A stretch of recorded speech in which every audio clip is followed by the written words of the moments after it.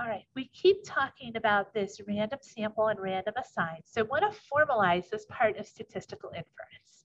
So we've talked a lot in the last chapter about a random sample. And the benefit of a random sample is it allows us to generalize our results to our population. So if we have a random sample, that's all we need to check to say, yes, I can apply my results to the population.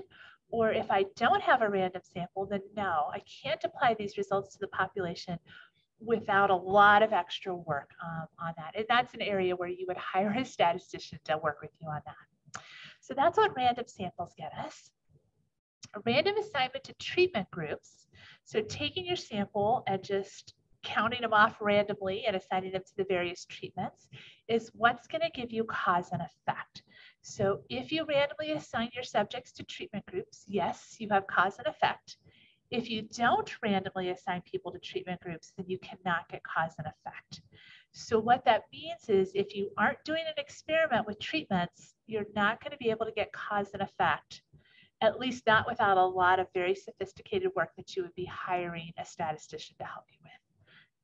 So the best place to be is this first box in the left corner, top left corner. That's a random sample and random assignment to treatment groups. That means you're going to get cause and effect, and you can apply those results to your population. Um, if we move to the top right box, so we have a random sample, but no random assignment to treatment groups. So this would be things like observational studies and surveys, right? So things that you're not treating anybody, um, but you are pulling a random sample to try and get some good data. So you would be able to apply those results to your population, but you're not going to get cause and effect of that uh, bottom left box. So you don't have a random sample, but you do have random assignment to treatment groups. So where this one typically comes up is in medical research. It's difficult to get a random sample in medical research because you do typically need those patients to be close to where that treatment is occurring. And so they you make use of that repetition and replicate to really uh, be able to use those results. But for a first study or a single study, that most of those medical studies are going to fall here. So you would be able to get cause and effect, but you can't really apply those results to your population. The bottom right box is the worst box to be in.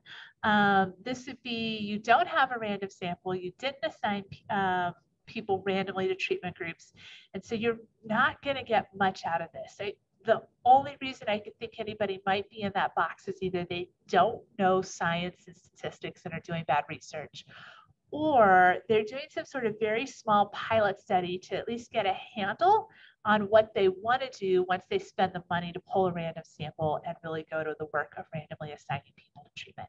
But otherwise, um, people really should not be in that bottom right hand box. So if you're asked, can we apply these results or generalize these results to the population, check to see if they have a random sample. If you're asked if you get cause and effect, you want to check to see if they have random assignment to treatment groups.